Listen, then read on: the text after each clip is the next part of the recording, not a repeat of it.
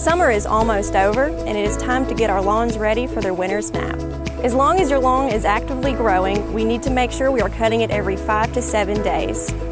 But we may be able to stretch that time frame out. As fall approaches, turf growth slows.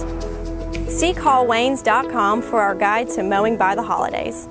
Today we applied your fall pre-emergent herbicide to protect from winter weeds such as poa annua and henbit. We may have also included some nitrogen and minor nutrients depending on soil temperature and environmental factors.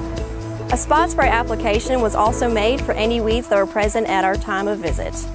It is important that you water in this application with half inch to three quarters inch of rainfall or irrigation 24 to 48 hours after the visit. This will activate the herbicide and begin to create the layer that will inhibit weed germination.